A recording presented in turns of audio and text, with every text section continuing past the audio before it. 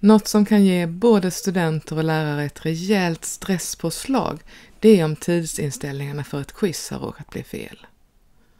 Men det här går att lösa. Andas lugnt och häng med.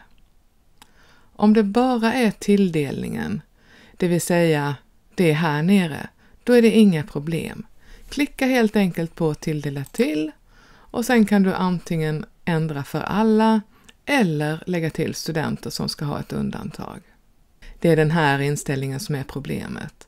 Quizet är tidsbegränsat till 60 minuter, det vill säga från och med det att en student har startat quizet så har studenten bara en timme på sig. Om quizet ännu inte har startat så är det fortfarande inga som helst problem. Då är det bara att klicka på redigera och ändra den inställningen. Men i mitt fall är det lite mer komplicerat. För det första så är quizet redan igång och för det andra så är det faktiskt bara två studenter jag ska ändra för. Och då finns räddningen på knappen Justera detta quiz. Den här vyn tycker jag är helt fantastisk. Den ger mig en sån överblick som lärare.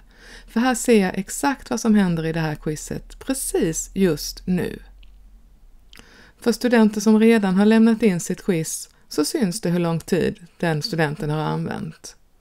För studenter som håller på att göra quizet så syns det för var och en hur lång tid de har kvar. Och om kolumnen för tid är tom, då har den studenten inte påbörjat quizet ännu.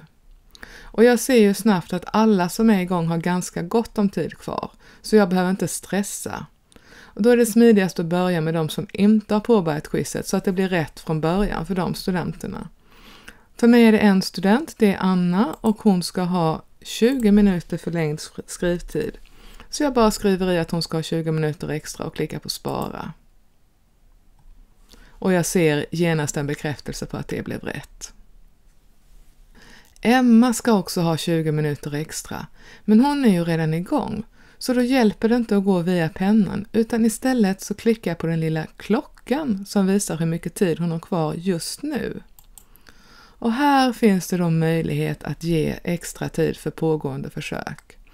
Här ser jag exakt när Emma startade quizet och jag ser exakt när det kommer att avslutas med nuvarande inställningar.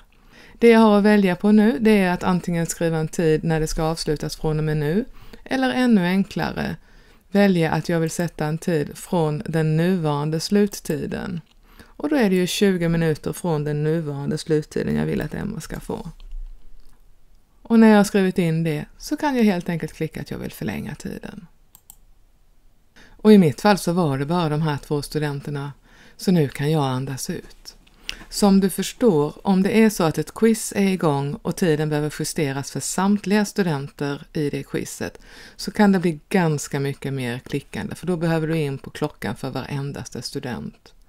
Men principen är exakt densamma.